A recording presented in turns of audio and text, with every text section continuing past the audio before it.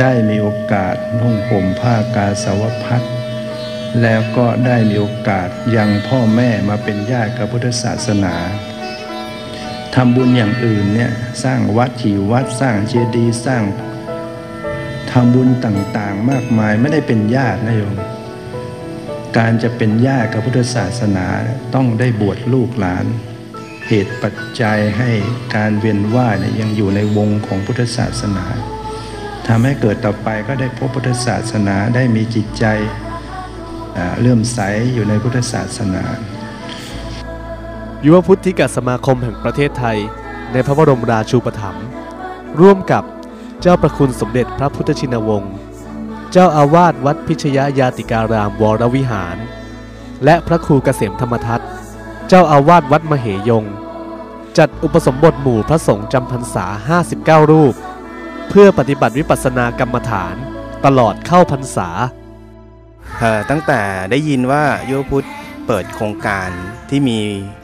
พระพระหลวงพ่อเกษมธรรมทัตเป็นพระวิปัสสนาจารย์มาอบรม ทั้งพรรษาหนึ่งนี้นี่พอทราบปุ๊บก็ตัดสินใจทันทีไม่ลังเล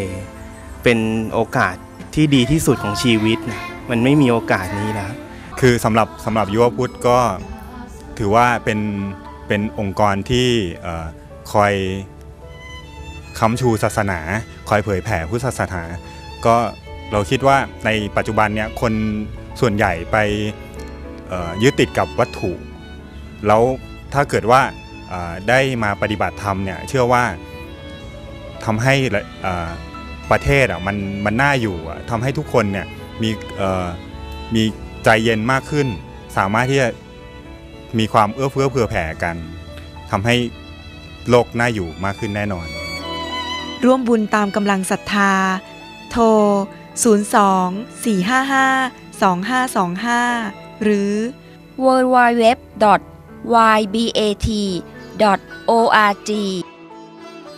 ยุวพุทธ สร้างคนสร้างที่ใจ